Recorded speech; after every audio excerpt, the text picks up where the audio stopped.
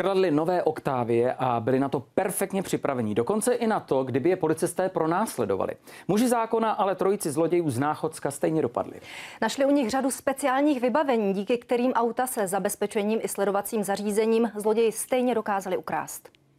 Policisté po nich pátrali od loňského května, kdy jim zloději touhle divokou jízdou ještě ujeli. Mají toho od té doby na svědomí dost. Bylo jim prokázáno, že během devíti měsíců odcizili nebo se pokusili odcizit celkem 14 vozidel, čím způsobili škodu za téměř 4,5 milionu korun. Při domovní prohlídce u nich policisté našli kola, nárazníky a další díly z oktaví třetí generace, na které se darebáci zaměřovali. Vozidla po odcizení otáhli do své garáže, kde je rozebírali na náhradní díly, z kterých odstraňovali identifikační znaky. Používali silnou rušičku všech bezdrátových signálů, také detektor zabezpečení a GPSky.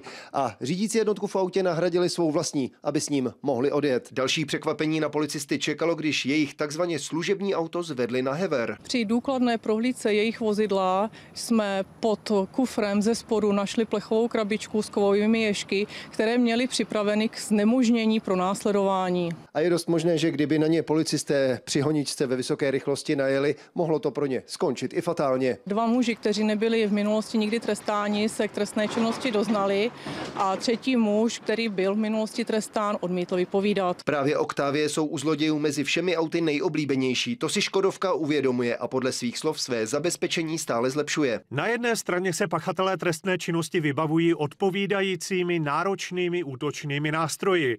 Na druhé straně ochranu před odcizením ovlivňuje například i to, že jako výrobce musíme každému umožnit přístup na rozhraní palubní diagnostiky vozu a k příslušným procesům a dokumentům. A tak žádná ochrana auta evidentně není stoprocentní. Pro televizi Barandov Bohuslav Štěpánek.